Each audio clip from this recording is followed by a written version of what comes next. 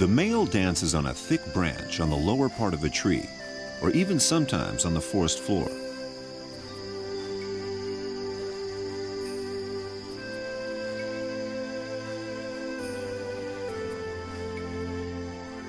Extraordinary as this dance is, Tadashi's remaining challenge is to film the magnificent bird of paradise.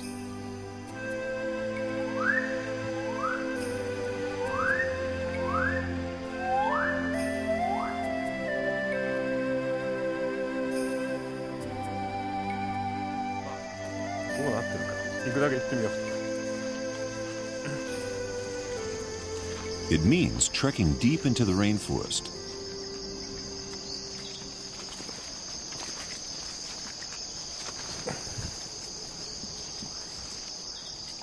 These tropical evergreen forests harbor as many as 11,000 different species of plants. Almost 60% of these are endemic to New Guinea and found nowhere else.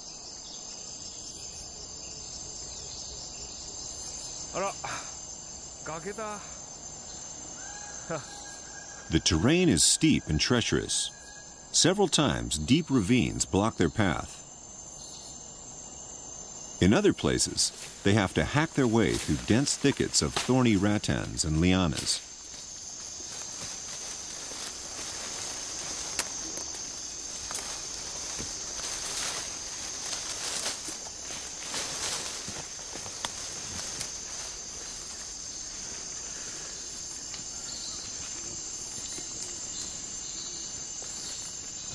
Just as it seems it may be impossible to find their quarry, their luck may be about to turn.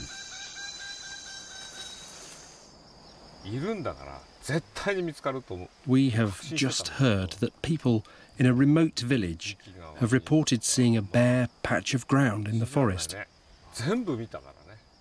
And they're willing to take us there.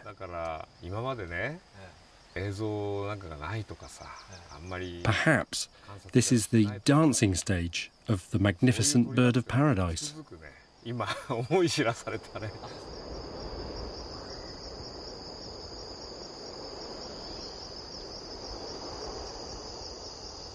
Tadashi knows this may be his last chance. He decides to lose no time and asks the local people to show him what they have found. The villagers lead Tadashi deep into the forest.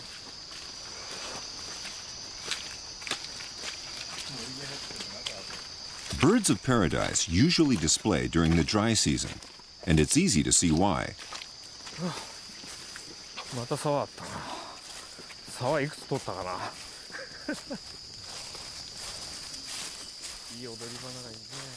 At last, they find what they've been looking for. これはでかいわ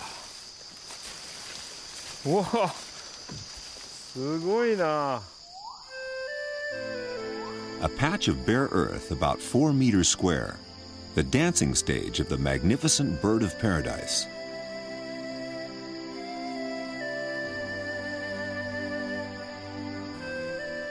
It lies in a natural clearing where light can reach the ground. Tadashi believes that its owner must still be around to maintain it, as there are no leaves scattered around the surface. It looks as though it has been swept clean with a broom.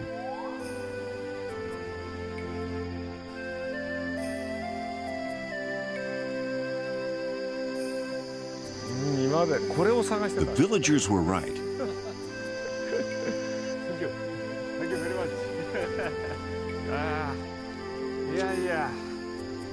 Now, all Tadashi has to do is wait for the male to come back to his dance floor.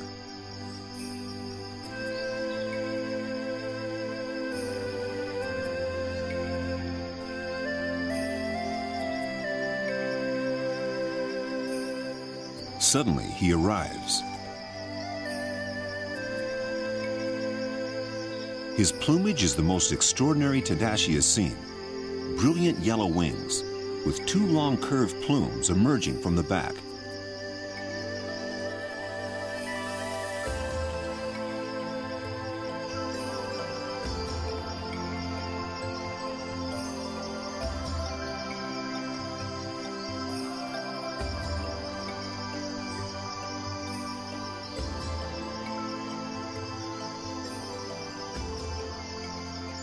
Like the Lawes' parotia, he immediately starts cleaning the earth floor of any debris.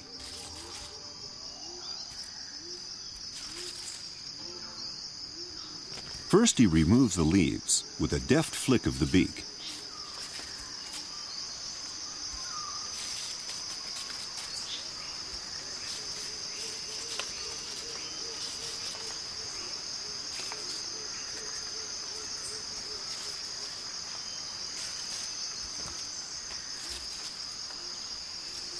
Then he begins to clear away moss and lichen.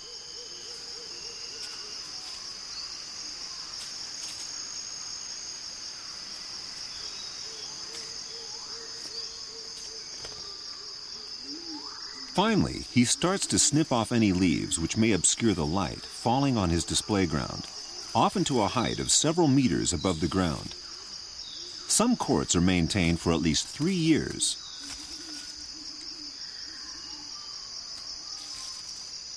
Only when the stage is spotless does he try to attract a female's attention by calling from a branch.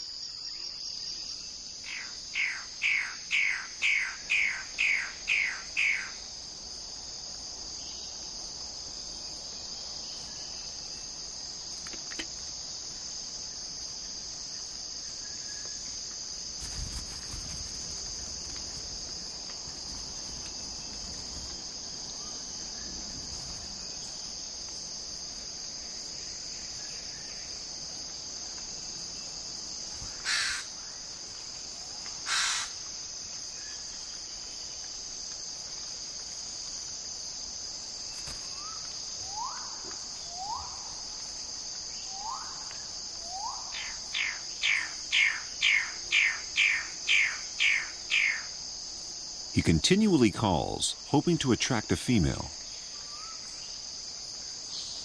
But luck is not on his side.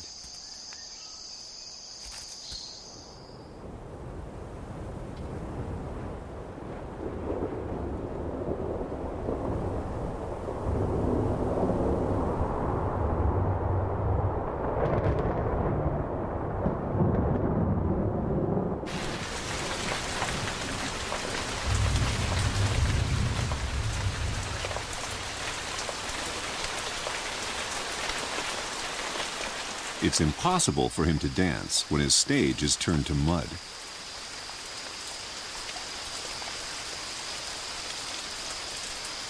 Both Tadashi and the male must wait for the rains to end. Slash and burn agriculture and commercial logging can completely alter the ecology of the forests. Without tree roots to hold it in place, the thin soil becomes vulnerable to erosion when the rains arrive. Instead of soaking into the ground, the water pours off the mountainsides in torrents.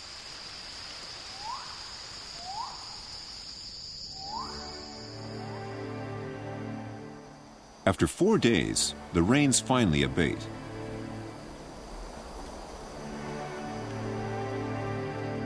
On the first dry morning, Tadashi is waiting in the hide.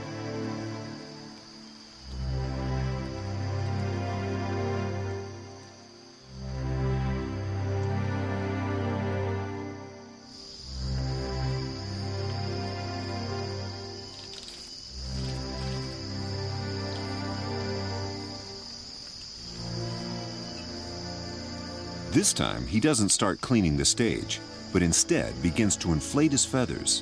There must be a female about.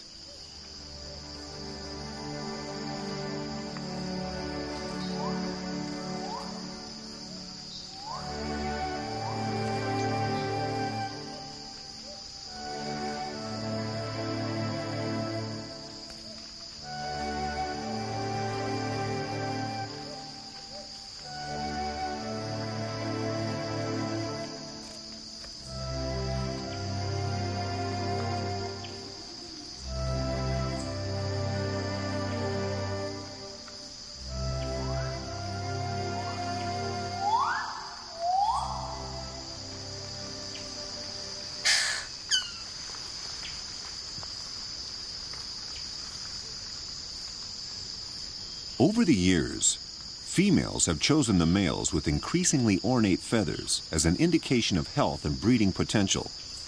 Gradually, the male's plumage and courtship display has evolved to become more and more bizarre and colorful. Darwin believed the birds of paradise show the most extreme form of sexual selection.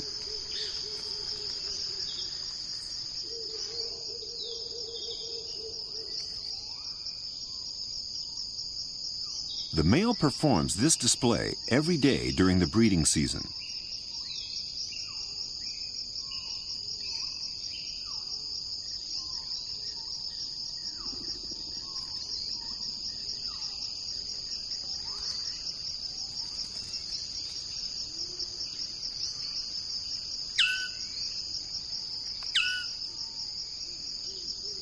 Finally, the female reveals herself and enters the arena.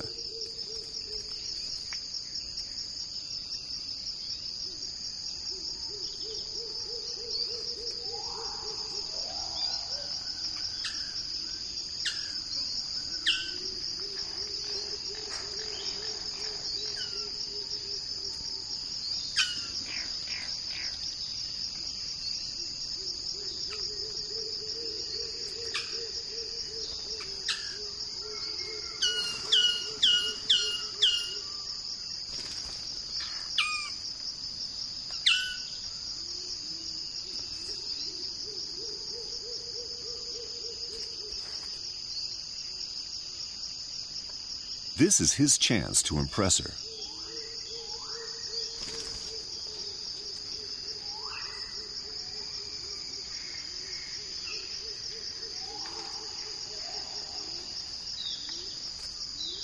Like many birds of paradise, she is quite drab compared to the male.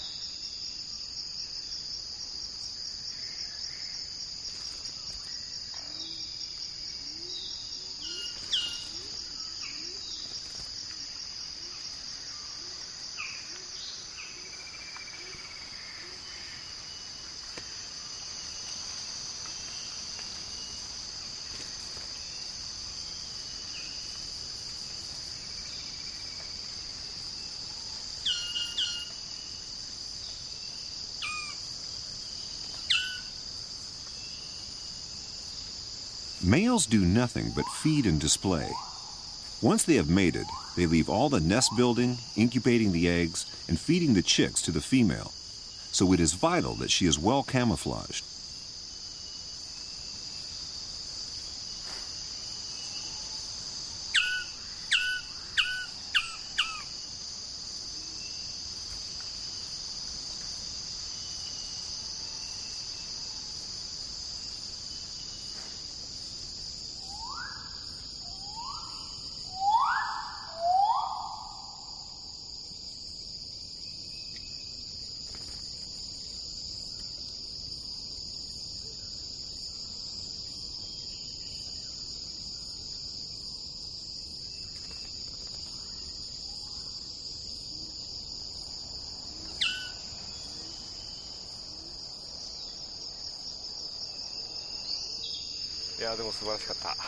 Tadashi is thrilled to have been able to film this display.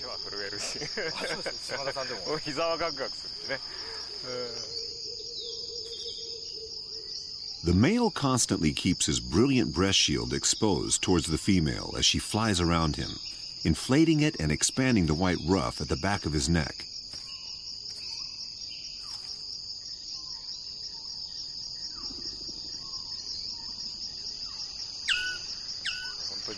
Tadashi wants to pay a visit to the local village one last time, for without their help, his quest would have been impossible.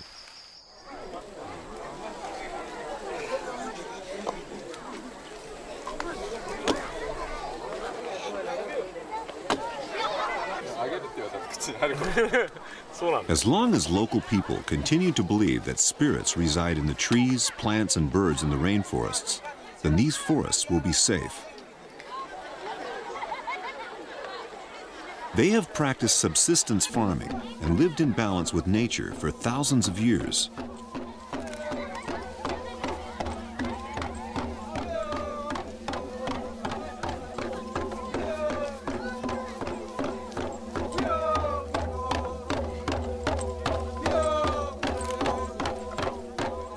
But in some parts of New Guinea, things have begun to change.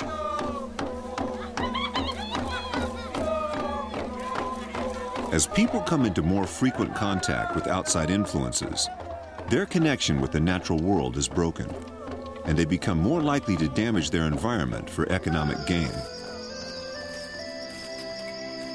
Commercial logging is one of the main threats to these forests.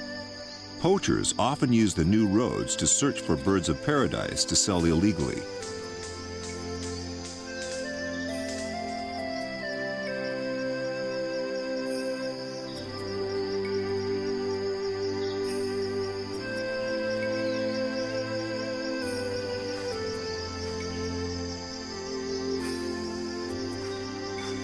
The only way to protect these rainforests and the extraordinary and unique creatures that live there is to protect the way of life of the local people who have been their guardians for so long.